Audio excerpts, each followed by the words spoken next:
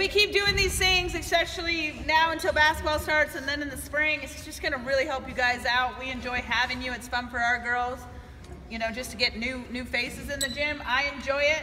Um, just proud of you guys for being here on a Friday night. This is this is what it's all about. Okay, bring it in. Let's go. Thanks for coming in. Congratulations